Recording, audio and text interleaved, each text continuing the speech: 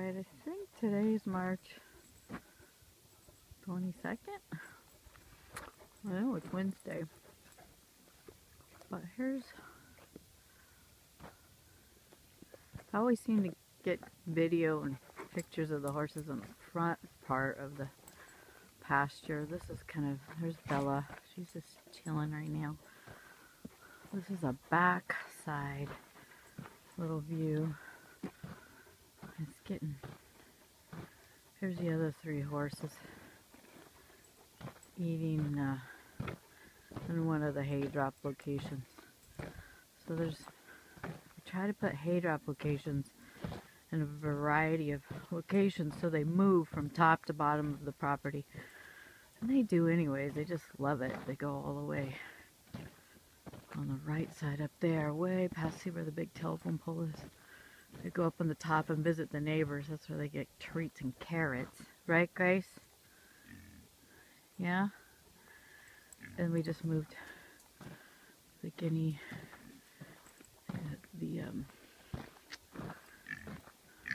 the hogs here, the American guinea hogs, to finish up the next couple months. You guys like it here. Yeah.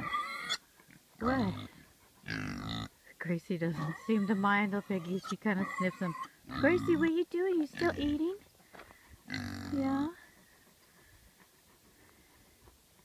So, and then we're going to get, oh, want to turn around?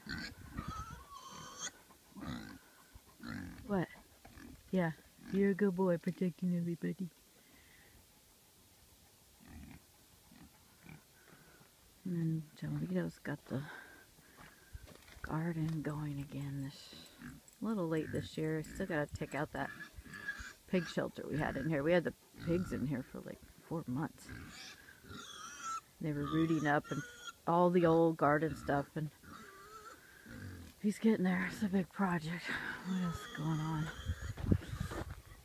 I think he's over there with the tractor fixing my up some chicken cage stuff. But anyways, this is the back side of the property. We're collecting eggs for the Orange County Fair to donate to the hatching egg exhibit for Imaginology this year again. I did it three years ago, but I have some different breeds this year. Bella, what are you doing? Bella. Bella doesn't need people. she just needs horses. Alright, ciao for now.